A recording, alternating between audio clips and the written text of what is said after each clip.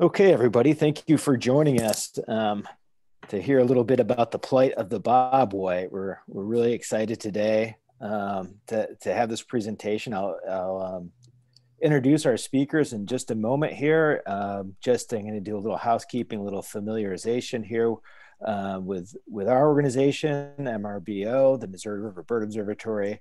Um, we work a lot under these pillars, these eggs here, bird-friendly communities, quality habitats, uh, feeding the flock, people, nature. We accomplish our mission through scientific research, bird population monitoring, policy advocacy, and community education um, and outreach. You can find more about our work at mrbo.org. Um, these two guests that we have today really help fit in with our mission. Um, and a little final housekeeping thing here if you're not familiar with Zoom, um, you can use the chat feature to chat with other attendees if you like. Um, and you can uh, post any questions that you have for the presenters in the Q&A section.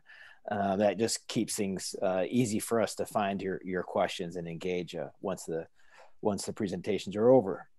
Um, so yeah, um, I put in a, a, couple eggs here because these guys are good eggs. Uh, those are our quail eggs there, a photo from one of our, our projects uh, throughout the Missouri grasslands.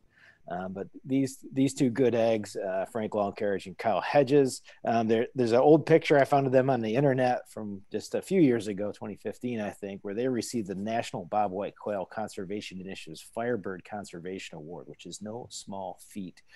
Um, Frank, uh, guy on the right there, he'll go first, and he's a wildlife biologist, management biologist for the Missouri Department of Conservation in Southwest Missouri. He's been in the MDC for 15 years and manages seven conservation areas to include four native prairies. He also conducts quail research and co-led the largest quail study in Missouri history.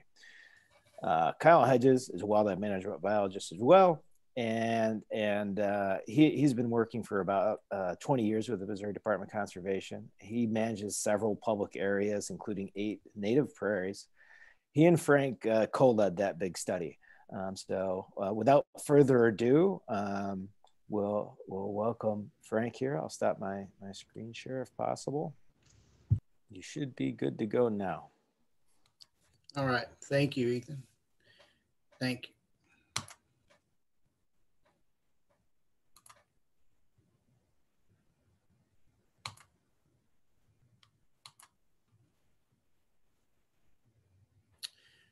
Okay, thanks, thanks Ethan and, and Dana for for having us. Um, this means a lot to to us, to to me, and to Kyle. I know we uh, we relish any chance that we get to talk about bobwhites, a species that we both grew up with intimately um, as a part of our lives.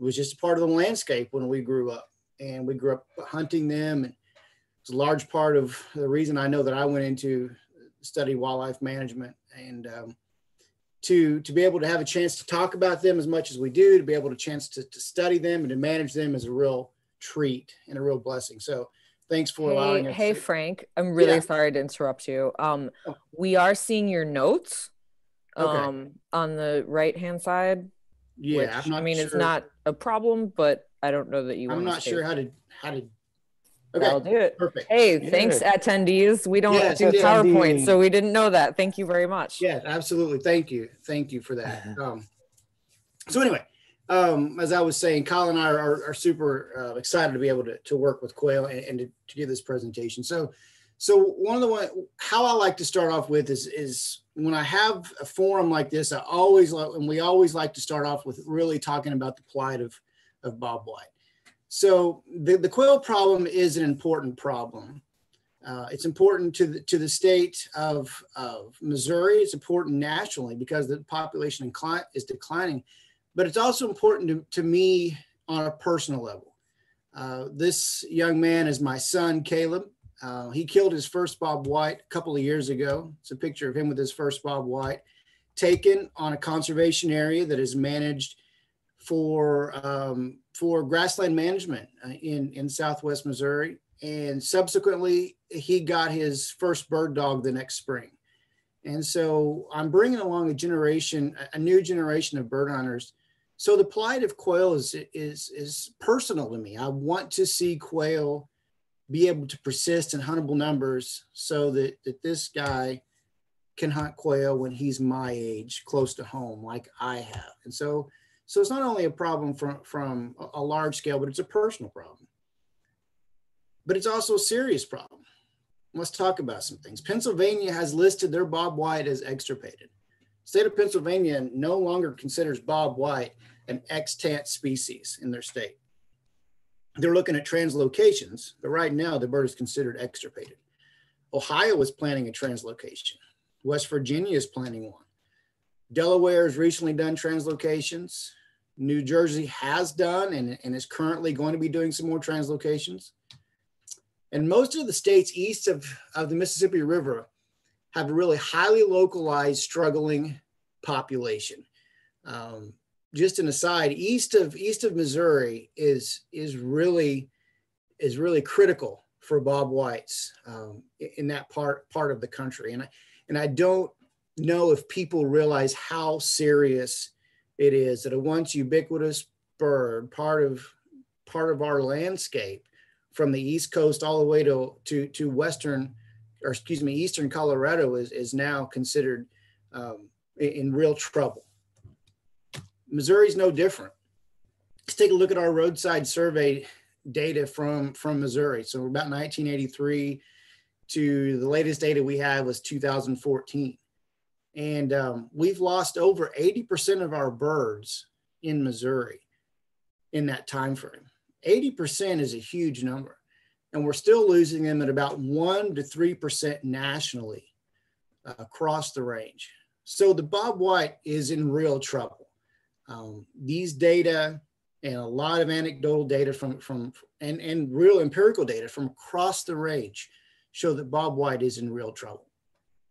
Well, this is from a statewide perspective. Let's look at conservation areas in Missouri. So this is data that was collected on areas that in, in Missouri, public land that we used to call quail emphasis areas. So these were areas that were publicly owned, managed by the Missouri Department of Conservation, where we decided in about 2005 that the department was going to put in extra labor, extra dollars, and a real emphasis on bobwhite management on these areas. Mean, there was about 19 of them.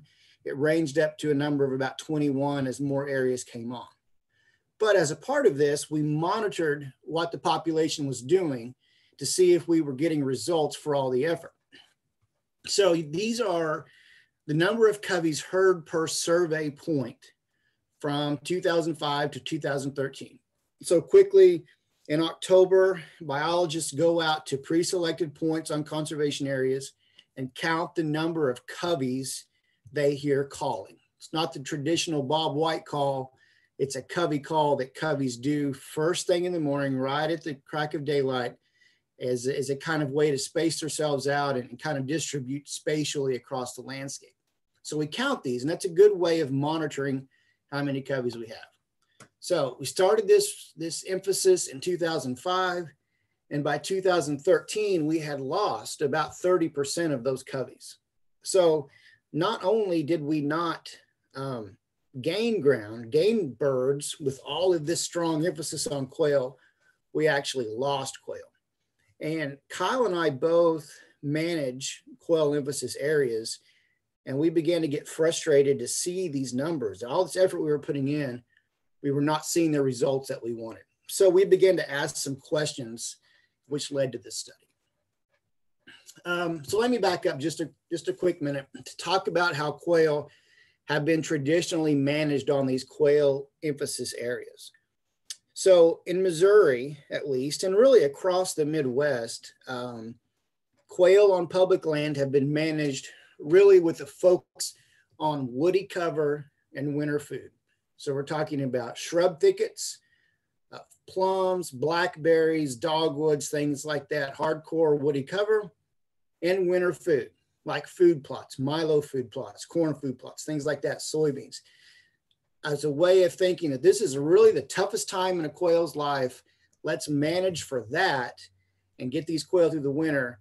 And then that's how we will get um, that, that, that was the basis of our management, let me say. Um, however, as we saw on that previous graph, population response was really lower than expectations. However, at the same time, we began to note uh, superior quail populations on our grassland dominated conservation areas. So we're talking about uh, native prairie for the most part. Kyle and I both manage native prairie. He has more and bigger areas than I do, but we both started to notice higher quail numbers on these areas anecdotally when we were out doing routine management to the point where when we hunted together, we didn't hunt our quail emphasis areas. We went straight to the prairies. That's where we hunted because we knew we had a better chance of encountering coveys. And so these observations really led to, to this study, began to ask a lot of questions in our, in our mind is, is what is going on such that when we're really trying to manage for quail, we're producing very, very few or lower than expected. We were still producing quail, but lower than expected. Whereas on these grassland areas, managed primarily with fire and grazing, where quail were not the emphasis, we were emphasizing natural community management. Quail were actually, in some cases, two to three times higher, according to our surveys, than on our traditional area. So that's sort of the background and, and how this study really got rolling.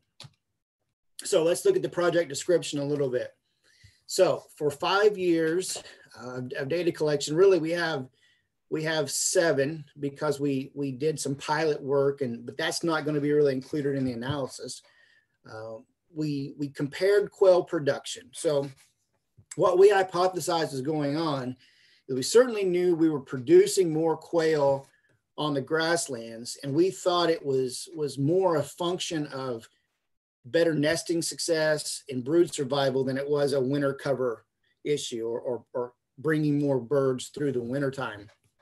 So we wanted to look at production, uh, quail production on traditionally managed conservation areas versus grasslands over this period.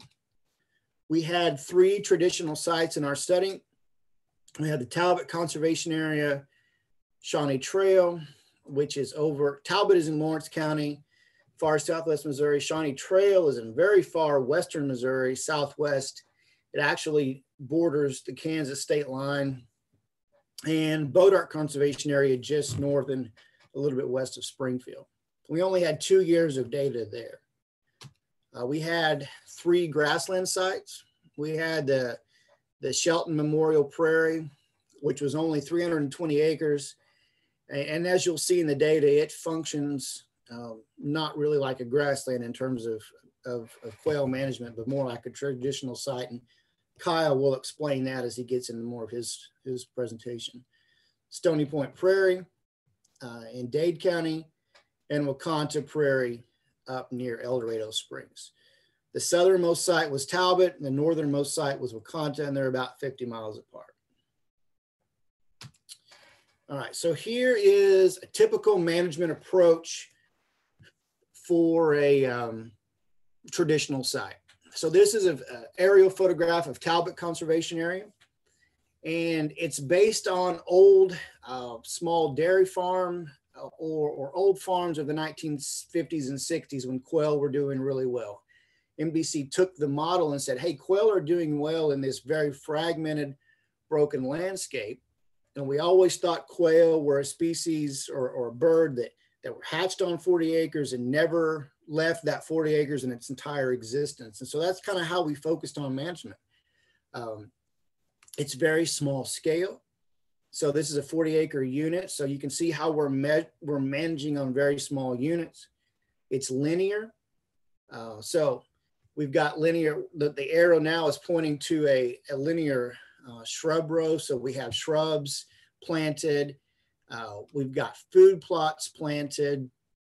So we've got winter cover, the winter food, that key that we were talking about early that we really focused on.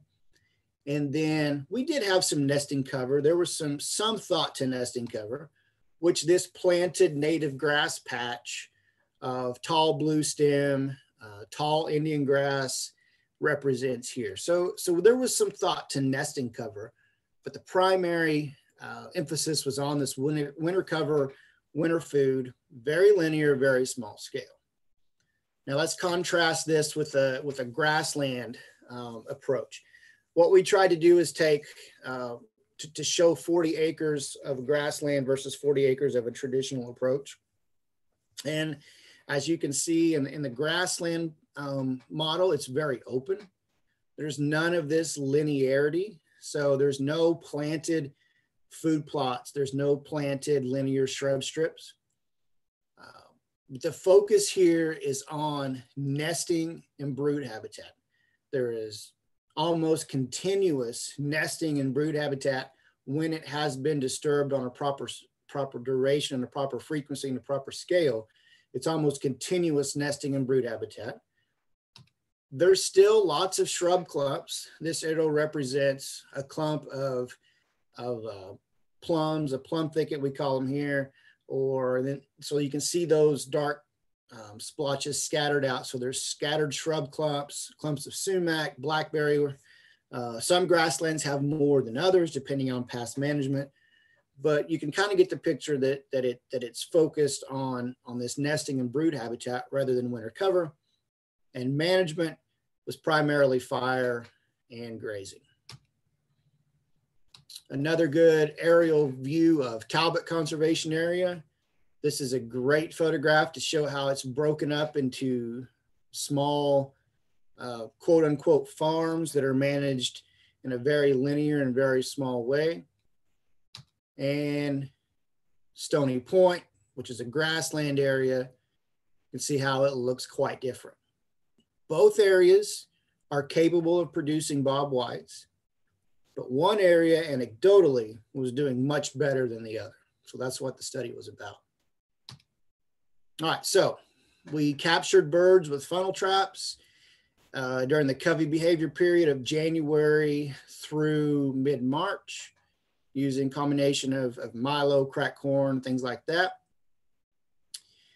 We put radio collars on these birds. We aged them, of course, sexed them, put radio or put a band on each bird, and we let them go. And we followed them through the nesting period, which turns out to be um, one of the one of the more interesting findings of this study. I think was what's going on during this very very long nesting period. So tracking them somewhere anytime from when the collar went on until the bird died or until about October 1. So here's the photograph that shows a bird in hand. This male here has a collar attached. You can barely see the antenna below the gentleman's hand there holding the bird. Uh, the, the collar essentially disappears on the, on the bird's chest. And um, we preen it in very well and the, the, birds go ahead and preen it in too. So it, it's a it's a really cool attachment method and um, worked out very very well. So here's our data set.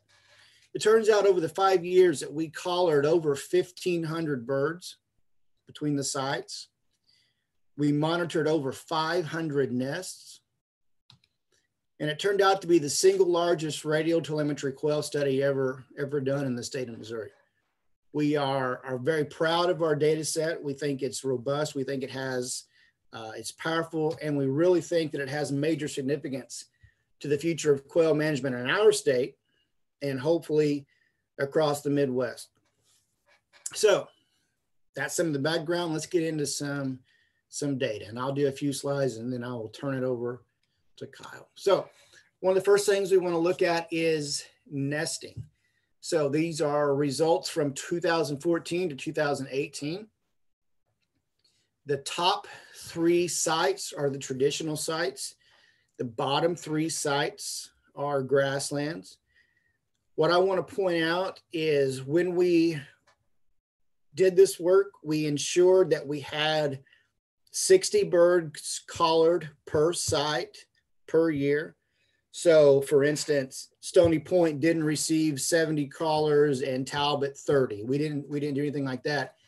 We went into it with each site receiving the same amount of callers or each or having an equal number of birds on the air radioed at the beginning of the season. Uh, a couple of things I want to point out first is um, nest success. You can see on the right, uh, Bois D'Arc was 18%. Again, we only had two years of data, but 18% is, is really bad. Talbot, a full five years of data on Talbot, we had 31% nest success. Shawnee Trail, 33%. Those are really, really poor. And those percentages are, are nowhere near sustaining a population um, for any length of time going forward. Um, I want to also point out that the number of nests incubated uh, compared to the prairies were fairly low. So let's move down to the prairies. Uh, so just for just for a minute, just kind of ignore Shelton and I'll, I'll circle back to get that. Stony Point Prairie, we had 148 nests incubated. So remember, they had the same number of, of birds collared on Stony Point as we did Talbot, but we had an, 44 more nests incubated on, on Stony Point. The nest success of 44%. Wah'Kon-Tah, we had four years of data. We had 89 nests incubated there and 43% nest success. So as you can see quickly here that nest success is clearly higher on these grassland sites. Now Shelton was only 100, uh, was only 320 acres of grassland managed with fire and grazing, really good stuff. Uh, but it's surrounded by a matrix of pretty hostile habitat. So some really nasty timber, lots and lots of cropland, and and pretty poor fescue habitat on, on another side. So it's a it's it's an island of great habitat, a true island of great habitat in a hostile matrix. Still, it was the same nest success or relatively the same as our traditional size. But this quickly points out that nest success was higher and we are actually incubating more nests on these grasslands. So we're starting to see some, some, some answers here.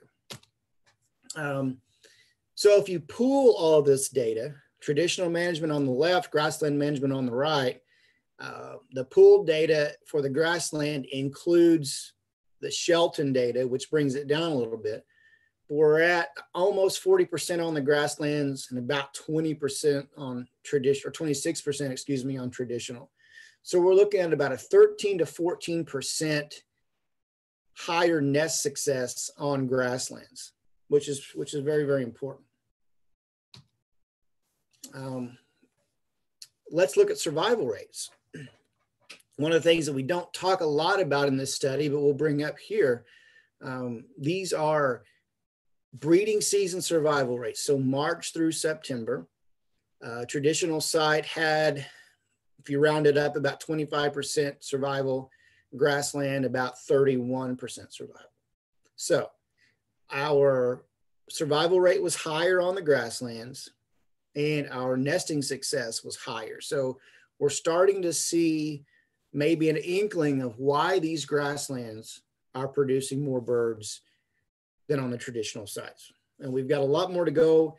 And I will turn this over to Kyle now. So give me a second to stop my share and um, I'll turn it over to Kyle.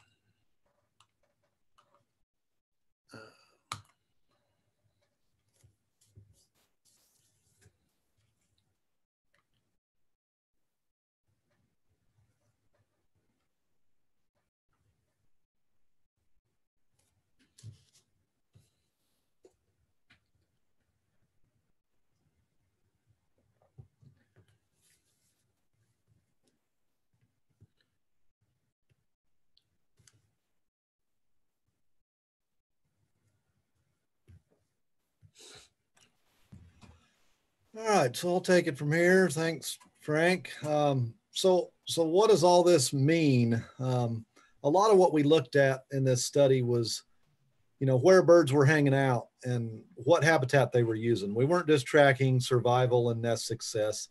We were taking, our technicians were taking uh, habitat information. We had lots of different criteria, whether something had been burned or grazed um, in the last year, two years. Um, whether they were in a thicket, whether they were in grass, and all kinds of things that played into some of the data. Um, that that's all important. It's important for Frank and I as managers. We needed to understand where birds are at and why they're using what parts of the area and what parts are they not using? Do we have wasted space out there if we're trying to manage for quail? So it turns out it's fairly simple. Um, you know, our old idea, or traditional management with food plots and all these strips, and um, a lot of it wasn't usable in the past. Um, food plots are only usable for a, a few months of the of the year. We have periods where they're just bare dirt because they've been disked. Uh, the seeds haven't started growing yet, or or whatever. There's different stages in there that they're just not very usable. Um, if they're really clean fields, say, they may not attract bugs, so they're still not available for brood rearing. So this still wouldn't count as usable space, stuff that we considered usable years ago.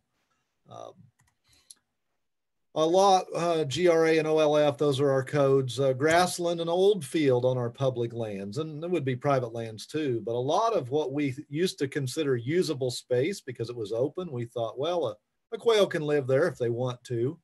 Well, turns out they don't want to when you put a radio collar on them because it's too thick. They can't move around in it. Um, so a lot of our open fields, we just assumed open fields are always usable space. Well, turns out that's not true. The time since disturbance was the number one factor in determining where these birds would be during the breeding season. If something hadn't been disturbed in the last 12 months, it got minimal use. Birds just didn't want to go into it. And that's because we're in a high rainfall environment and stuff just gets too thick. We need more disturbance on the landscape. Now, again, we're talking about public land. We're talking about native warm season grass plantings. Um, we're not talking about, um, you know, private fescue that would have a different structure if it was being grazed uh, versus ungrazed. Although I'll argue we did have birds move off site and ungrazed fescue also gets pretty much no use. But overgrazed fescue does not either. So we're talking about public land management of how we were doing it in the past, and it just wasn't working that well. And what we thought maybe was good habitat turns out these birds were showing us wasn't so usable. We also saw these birds choosing to nest in good brood habitat, good being stuff that had been disturbed, more open at ground level, um, lots of bare ground, interstitial space between plants where chicks could move.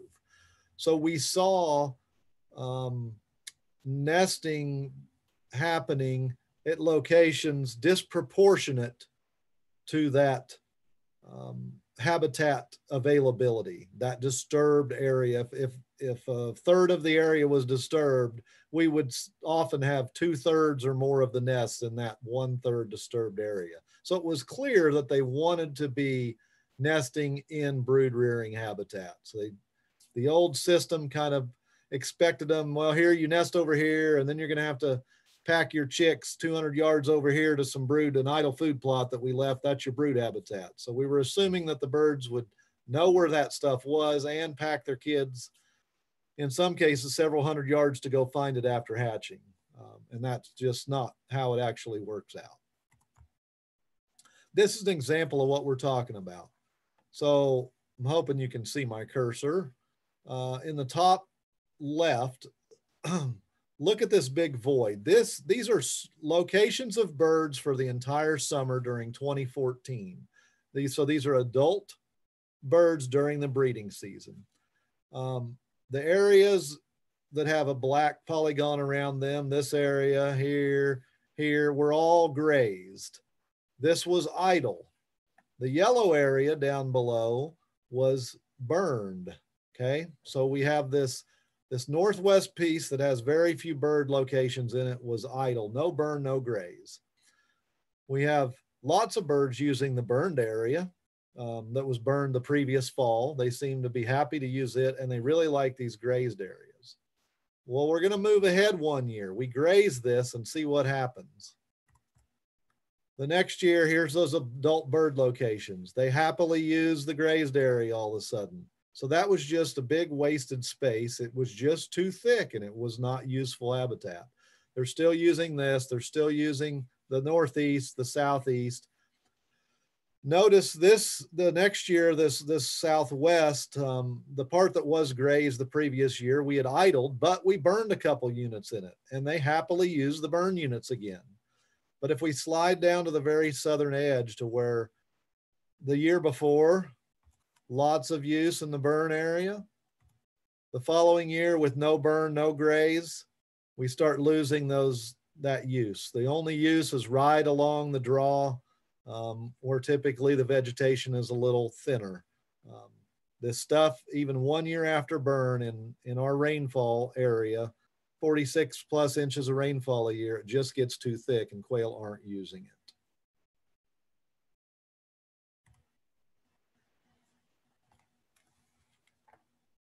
I have someone with a raised hand. I don't know if I know what I'm doing, but I'll attempt to. I think if someone raised their hand, if you'd uh, put your question in the Q and A um, for Kyle, that'd be great.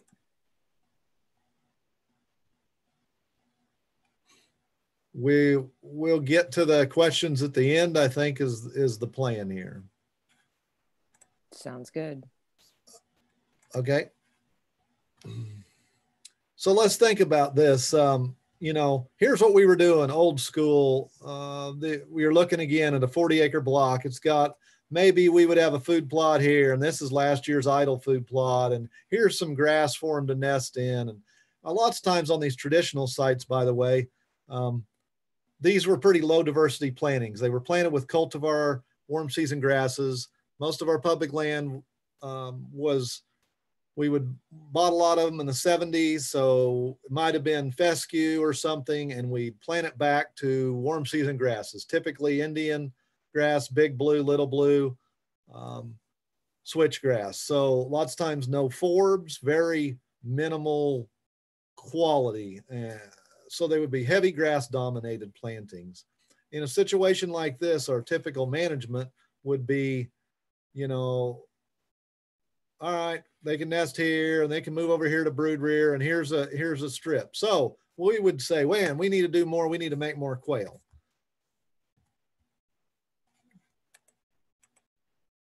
Well, we got a covey in here. So what do we do? We come in and maybe we do some edge feathering. We're gonna we're gonna help this out a little bit. So we do some edge feathering, bring our staff out, do a little bit of work. And well, maybe we, hey, let's plant Milo instead of of wheat this year. Quail like Milo better. So we were always dabbling around, doing the same kind of stuff on the same acres, just tweaking a little bit. And now uh, let's this year we'll we'll put this one to millet and this one to something else. It doesn't matter. We just kept messing around with the same stuff. And at the end of the day, we still have this one covey in this same unit. We keep manipulating the same acres and not changing the structure and the function of the habitat. In this case, we didn't add any usable space. All we did was mess around with what we had and change the configuration of it. So now, honestly, this one covey, now they may be found in any of these edge feathering. So it's just going to be harder to hunt the one covey, but we didn't add any coveys. Adding some edge feathering, adding some covey headquarters isn't producing more quail in the, in the function of breeding season that's not what the, the shortfall is. We need more usable space.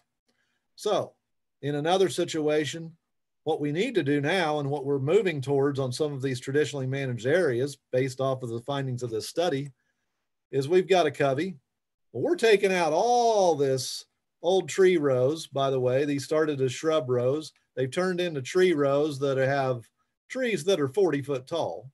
Well, quail don't need trees that are 40 foot. Those are just raptor perches. So if we're trying to maximize quail on a place like this, we got to get rid of these tree rows. We want shrubs, but we don't need mature trees. Those are just dens for coons, possums, and perches for raptors. We're all for managing for all species, but again, if we're talking about areas to maximize quail, then that's what we need to do. And if this is one of those areas, then we need to change how we're managing. We need to get rid of the food plots. Quail lived here long before we ever had food plots in the world. Um, So we need to plant these to a diverse native mix, which would be, you know, lots of forbs, a um, lot less grass. And then we need to manage with cows or fire or whatever to make this thicker stuff more usable. And now all of a sudden we're adding usable space. And all of a sudden, a year or two later, we have three coveys in this unit rather than one.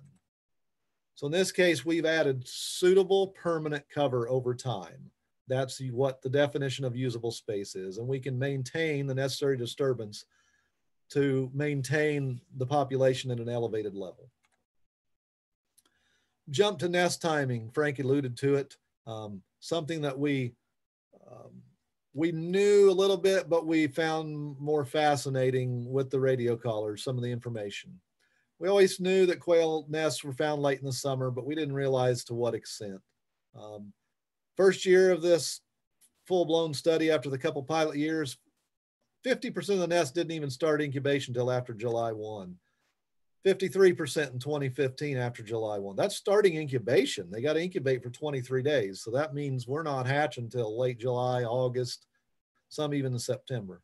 45% in 2016, um, 50% in 2017, 59% in 2018 let's look at the quail hatch timing. When are these hatching? The old wives' tale, everybody thought I was taught the same thing.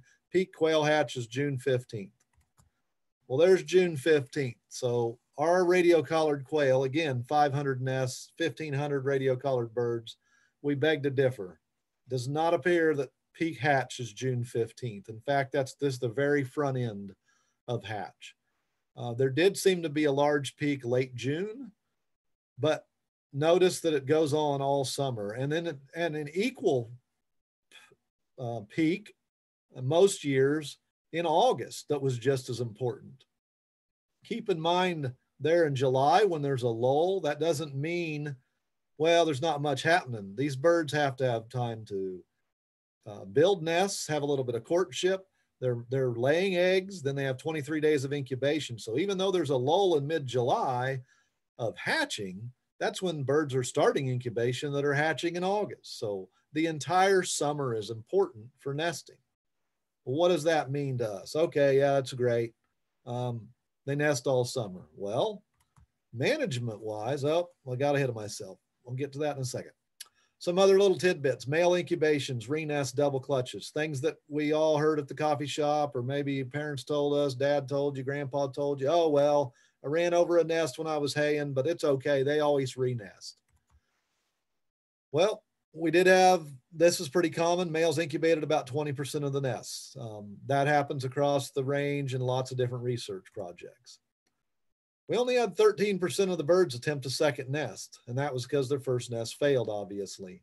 Um, actually attempting double broods, hatching a nest, getting them to a few weeks old, cutting them loose, and then going and nesting again was very rare. So again, a big data set, and we're only seeing 13% of the birds attempt a second nest.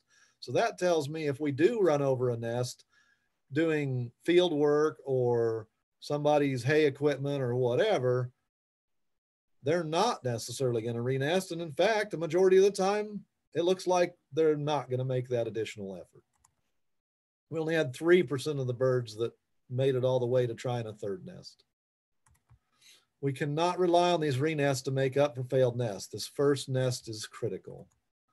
So what are the implications of this? This is what I jumped ahead accidentally a minute ago. So what does this mean? Well, in the public land world, we used to tell managers, hey, postpone if you're doing any haying on public land. You want to do it after July 15th. That gets past the nesting season. Well, not true. If we're really managing for quail, there's probably never a good time to hay. Um, if if quail is our number one goal, haying probably doesn't fit into the rotation.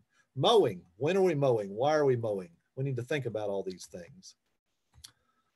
Spraying. We often go out. We used to have our field staff go out, and especially on native prairies, and and these these grasslands that we're talking about for this study site were native prairies, and by that we're talking you know 200 300 species of plants very diverse stuff that's been here for 10,000 years lots of forbs same grasses but but not planted you know real deal native prairies um, well we would go out we have to you know protect those areas from Sericea lespedeza, for example. So we would have staff gridding a whole area, gridding an entire prairie or whole fields with an ATV looking for every bit of Sericea. And often they're out there doing that in July and August. Well, when we have quail nesting all summer, there's no doubt there was incidental running over of nests. So we need to think about can we can we adjust? And what we found out was um, a lot of the early summer nests were in units with residual vegetation, which you would expect. The early season nests, the first half of summer nests were not in burn units. No shocker. Well, if we're going to have staff go out and spray Sericea on the front end of summer, they need to be going in burn units where we know there's no nests. On the flip side, July and August nests tend to shift towards units um, that had less vegetation. Those areas that were too thick, they bailed out of those and they wanted to nest in areas that were had even been burned that spring, just enough regrowth to cover the hen. So they honestly didn't need the dry grass that we used to been, think to make a nest bowl. They would lay eggs as long as the vegetation was tall enough, they could pull a little over to cover them up. Or areas that were grazed were, were readily used for later summer nests. So um, we've even moved into spraying Sericea with different chemicals now. We've moved way into to mid-September on some areas just to avoid incidental nest destruction. I want to cover uh, an addition that we had to the study. Um, in the middle two years, we had a, a, student from the University of Arkansas, Jake McLean. He was getting his master's degree, and and he did uh, some research on raccoon population estimates and travel patterns. And what I'm going to share with you is from Talbot and Stony, two of the areas that were covered for five years. People often talk about predators and oh, we're not paying attention to predators. Well, we did. Um, we looked into this to see what kind of difference it would make and, and how they moved across the landscape in these traditional areas versus grasslands. We know we have scent stations all over the state, so we know that our numbers are going up. Raccoons have increased fourfold, uh, over fourfold since 1977. Shouldn't be any surprise to anybody. Fur prices have been, for the most part, depressed for years. Um, opossums and skunks, same problem. Um, when we looked at the population estimates, this is based on those ear tags that you saw. Well, no surprise. Um, Talbot, 22% forest cover, had a high number of raccoons per square mile square kilometer in the estimate. Uh, these other sites had really limited forest cover, but notice Stony has fairly high raccoons. We want to focus on Talbot and Stony here. So raccoons per square kilometer based off resighting with these ear tags. But we also um, GPS collared a few, Jake did, so we could track how much time they spent on the area and how their travel patterns moved across the area four on each site and trying to look at, at how they came across the landscape and how they might enc encounter quail nests. What we found out is on Talbot, they spend the majority of their time staying on Talbot, about 60%, whereas Stony Point, they only they spend less than 30% of their time actually on Stony Point.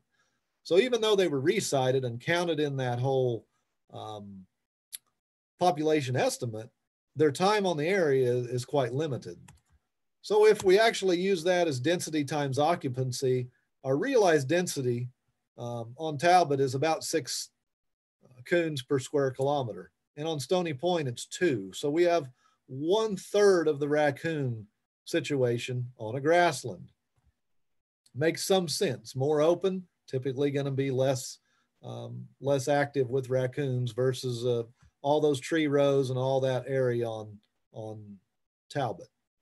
Let me show you how they use the landscape. Uh, focus your your your eyes over here on this west side. Here's a heavy piece of timber on Stony, and then this wooded draw. But I'm going to show you how one raccoon spent its time in that area. Everything is linear. Everything, for the most part, stays close to the draw. They have to stay close to trees. That's their escape cover. Raccoons need mature trees, just like quail need thickets. Raccoons have to get away from dogs, from coyotes. Unless you're a big boar coon, you're not going to go out in the middle of the grassland because it's too dangerous and something might kill you. So they have to be close enough to be able to run up a tree for escape cover. If we move to Talbot and look, we have way more woody cover strung all over the place. And I'm going to show you how a raccoon used Talbot. It looks like a shotgun pattern.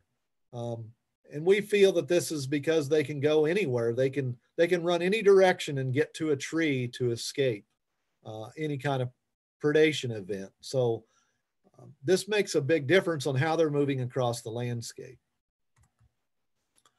When we took the movements of raccoons and we overlaid it with the locations of nests, a couple things stood out. For one, we found out on Stony, raccoons average distance traveling for mature cover was only about 40 meters, whereas Talbot, they would go almost twice as far out into the open. And again, with the belief that they could escape in any direction to get up a tree.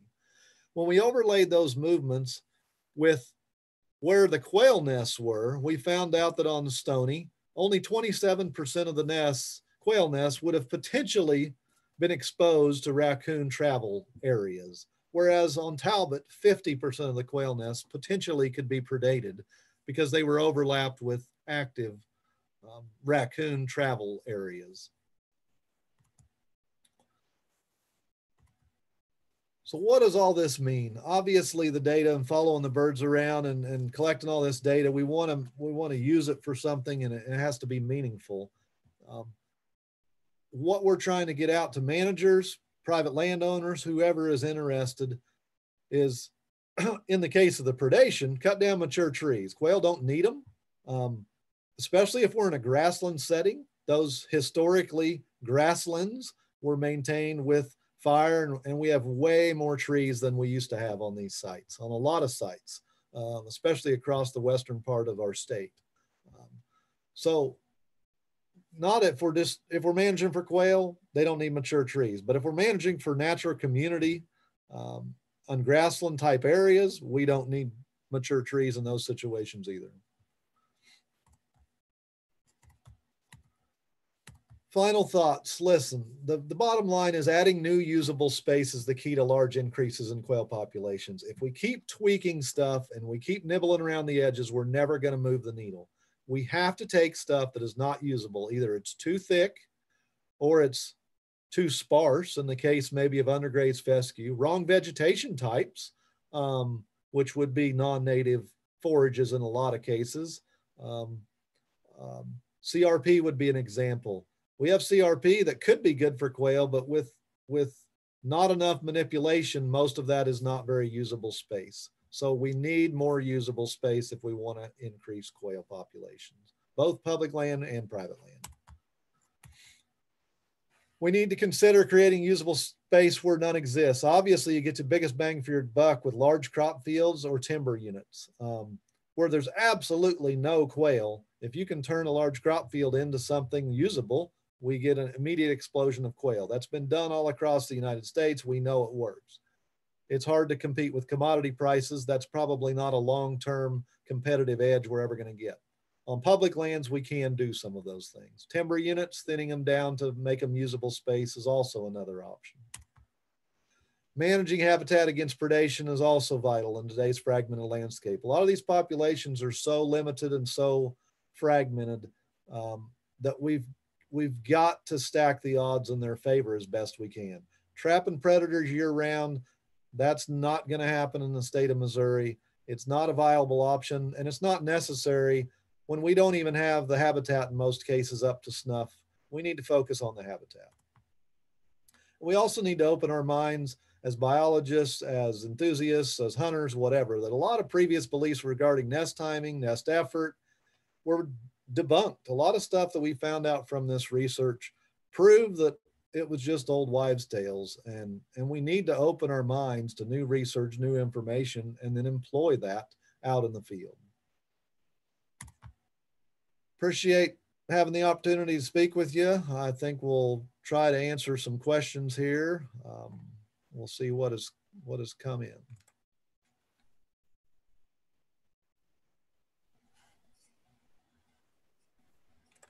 Kyle and Frank, I'm going to kind of put you on gallery view. I don't know if it'll make everyone's go onto gallery view, but we have three questions so far in the Q&A.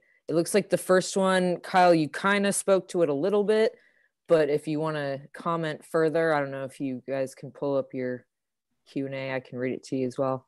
Um, what was the plant composition on these grasslands versus the other survey area? So you said a little bit about that, but if you want to say some more, please do. Yes. So again, the grassland sites were native prairies, so highly diverse. Um, would have had the same warm season grasses, but also some native cool season grasses, but literally a couple hundred forb species. So extreme diversity, which obviously lends itself well to attracting bugs, winter food through seeds. But understand those grassland sites, none of them had any food plots. These, these birds are living off of native insects and native seeds.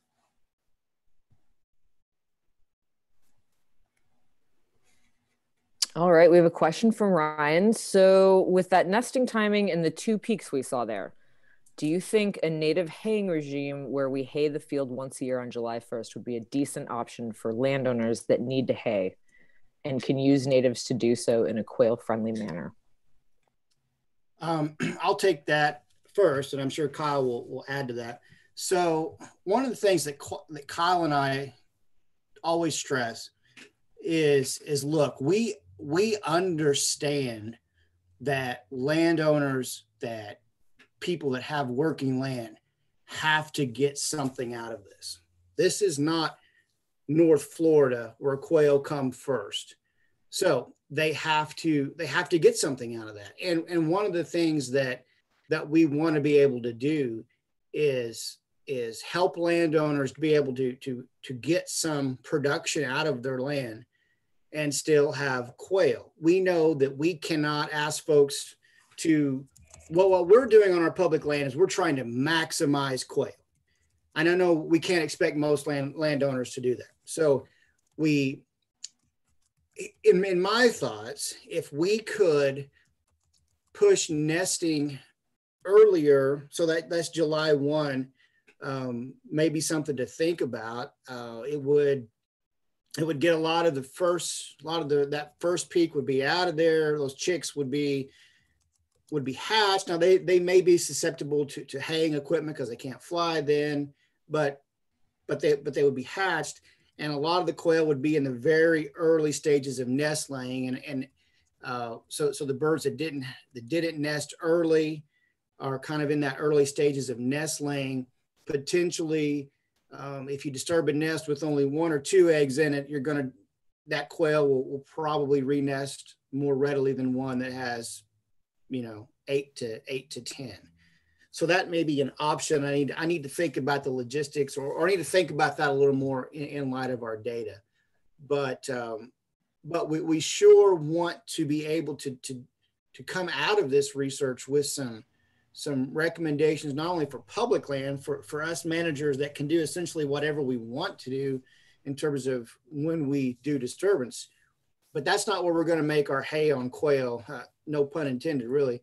We're going to have to do it on public on private land excuse me. So we're going to have to figure out ways to landowners to be productive to get some production but also have quail in the mix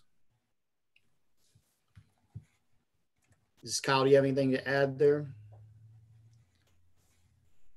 Nope, sounds good. But Looks like Kyle answered a question about armadillos um, that they've been here in our state for a while. And while they are a nest predator, that hasn't been as extreme as raccoons, for instance. Yep. Correct. So armadillos, yeah, I typed an answer to, to a person's question, but ask about armadillos moving into other states. And so must be somewhere north of us. We've had them here for years. Armadillos have been documented predating quail nests um, in Texas and, and other states, but they're way down the list as far as the major problem. Um, skunks, possums, raccoons, snakes, um, always come out way higher on the predation than than armadillos. Um, still, our habitat's the issue. Uh, we've just got to create more habitat. So here's a interesting one. I'd like to hear the answer to this also. because um, we speak about this with other grassland birds quite a lot. Matt asks, what is your ballpark average cow calf pairs per acre and what duration are you grazing? On our, our grassland sites, um, we're pretty moderate. Granted, we're using this for wildlife management, so the cows are a tool for us, not a moneymaker. But we're grazing about a thousand pounds per five acres for 120 days, so May through August. Um, so during the summer growth, during the good fescue summer slump, they can come, you know, and graze on the good prairie grasses and, and get better gains. Um, so it's good for the the the cattleman, the rancher, um, and it's good for us because we remove some of that overage, that tonnage. Now, now Frank on some of the planted grasses, he does something a little different.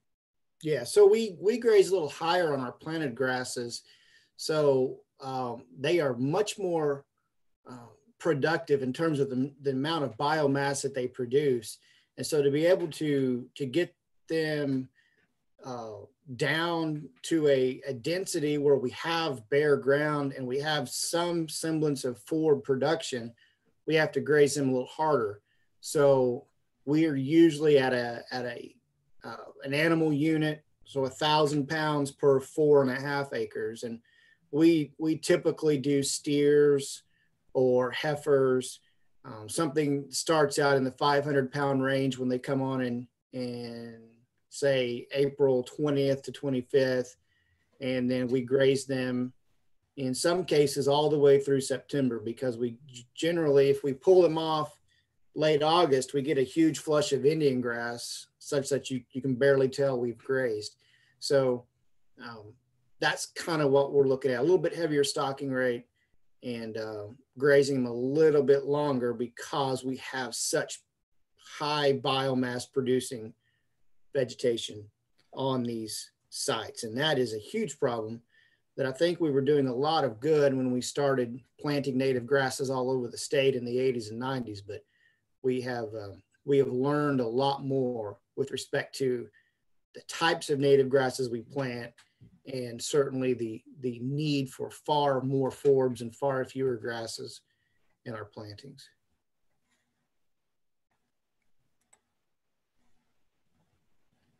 Questions keep coming, y'all. Uh, any difference in recruitment from early nest as opposed to the late nest? Yes, so early nests are always more successful. Um, I can't recall the percentage off the top of my head, but biologically it makes sense if you think about it. So those those June nests, we want birds nesting on the front end. Um, June nests and early July nests are always more successful for one, think about snakes.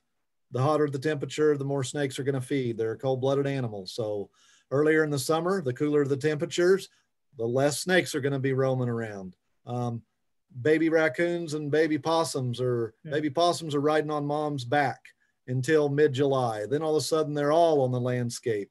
Um, baby coons are still in the den and, until you get into you know sometime in june lots of times so the number of predators on the landscape and their activity levels increases as the summer goes on so we we see although we have august nests out there and they're great to have the hatch rate is lower the the front end is more important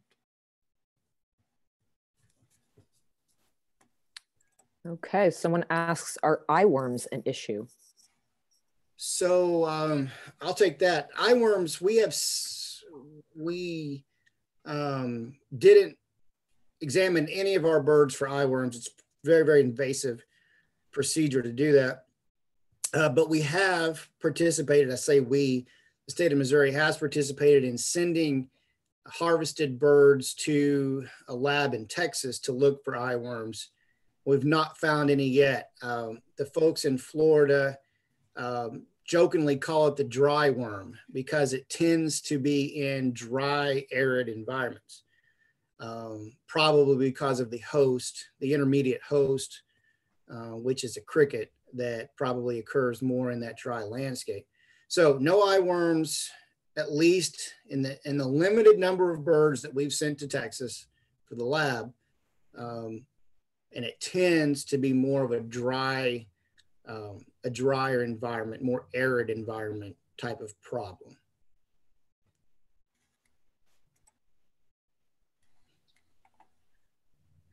What is the minimum size grassland needed to support quail? Well, so that's uh, as he showed you the, the Shelton with 320 acres. It supports quail, so we need to define support better. Um, it currently supports quail, but with 32% nest success, long-term sustainability probably doesn't exist. So when I think support quail, I'm talking 50 year viability. You know, if you're just got a 20 acre field, that's all you got to work with, and you got one covey, that's may or may not be sustainable for one year, let alone 20 years or 50 years. So the bigger, the better. Um, Fred Guthery, the ex quail guru out of Oklahoma State, talked about, you know, 5,000 acres blocks for a, a hundred year sustainability. So way bigger than most of us have ever thought for long-term sustainability. Yeah, and I'll I'll echo that. Our quail um, home ranges were on the order of 200 acres during during the breeding season. So um, we see we saw, of course, a large movement from winter cover to more open brood or nesting habitat. They kind of made a, a move, but um, they certainly aren't the 40 acre back 40 bird that we grew up um, being told they were is that largely because of one of the things you all mentioned earlier, which is it was working on 40 acres when there were a bunch of 40 acres sort of in a patchwork, and now there's small areas surrounded by a more hostile landscape?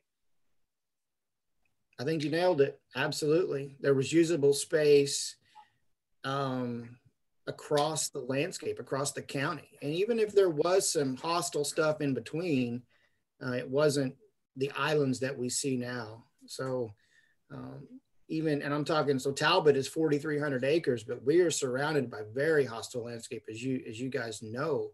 Um, and I'm nervous about the, the viability there, given 30% nest success. We've got to change some things. We've got to turn some things around. So, um, yeah, even even for 4,300 acres that I manage, I'm a little nervous going forward, and, and because it's just if it, let's just say, for instance, we have for some crazy reason all the quail were extirpated there tomorrow. There are no other birds anywhere around to recolonize that.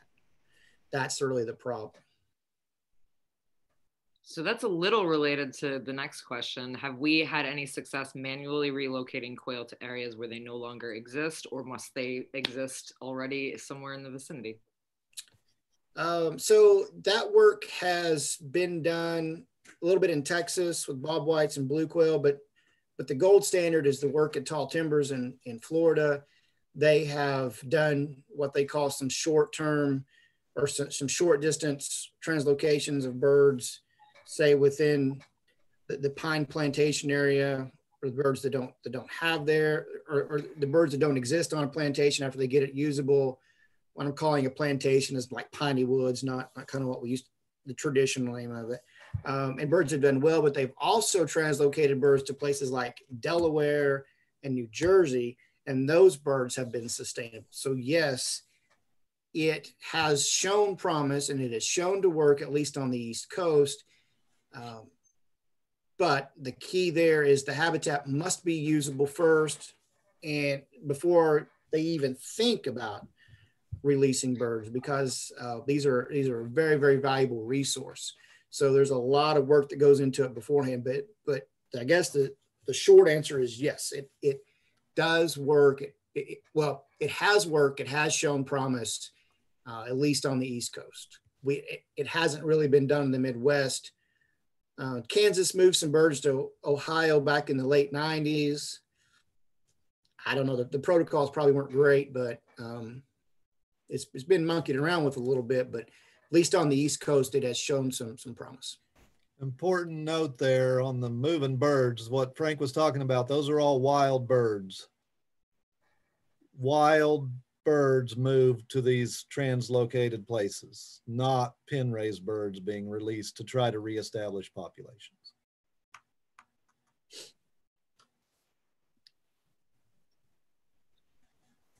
All right. We we still have a couple questions for y'all. Thanks for just sticking two with us. Did you see more usage of shorter grass prairie, little blue slash side oats, etc., that wasn't disturbed versus the big bluestem Indian and switch? Also, was any of the undisturbed shorter stuff pretty diverse, and you still didn't see the birds using it? Thanks.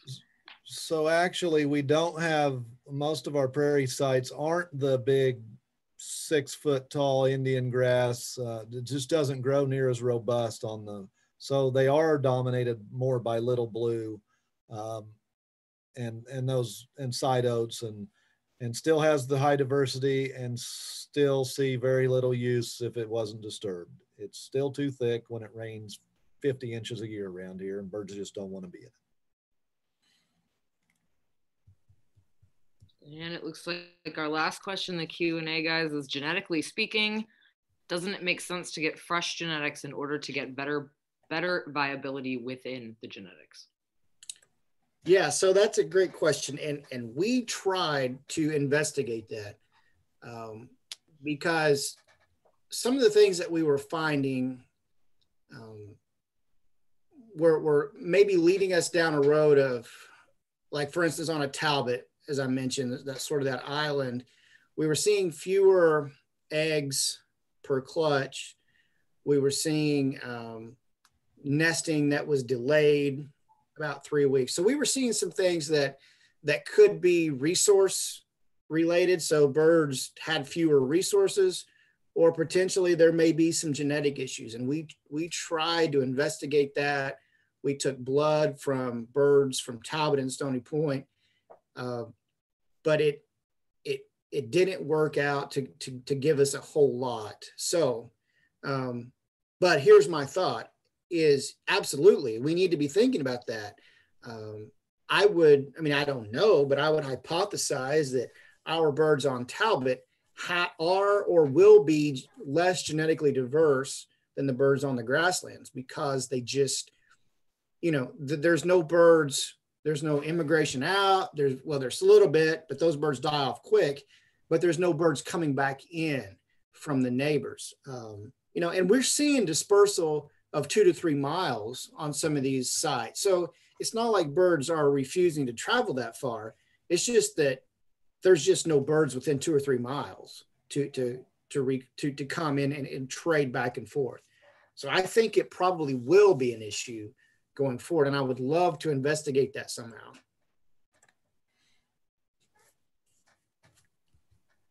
So guys, we have a oh, we have a couple more questions, but we if you open your chat, you can see some nice comments that people have made.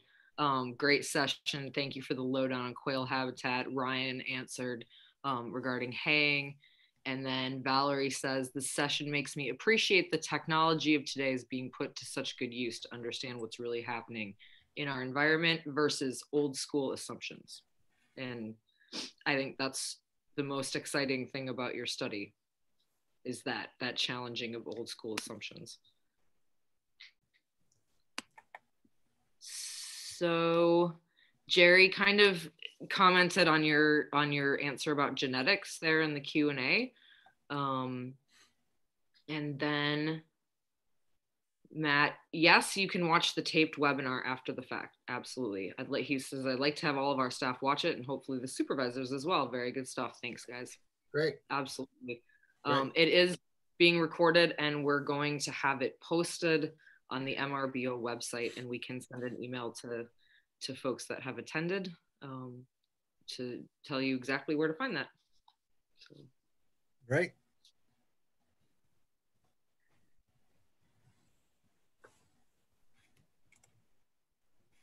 All right. That's everything. Uh, That's about it. Thank Yeah. you guys for sticking with us here. Yeah, thanks for Thanks staying for late at the office yep, once again. exactly. Absolutely. Yep. Yep. Enjoyed it. Good. There's some more thank yous coming in the chat. Yeah, we can see it. It's great. Thanks, guys, Cool. for for attending. Um, again, Kyle and I are always l- so excited to talk about quail.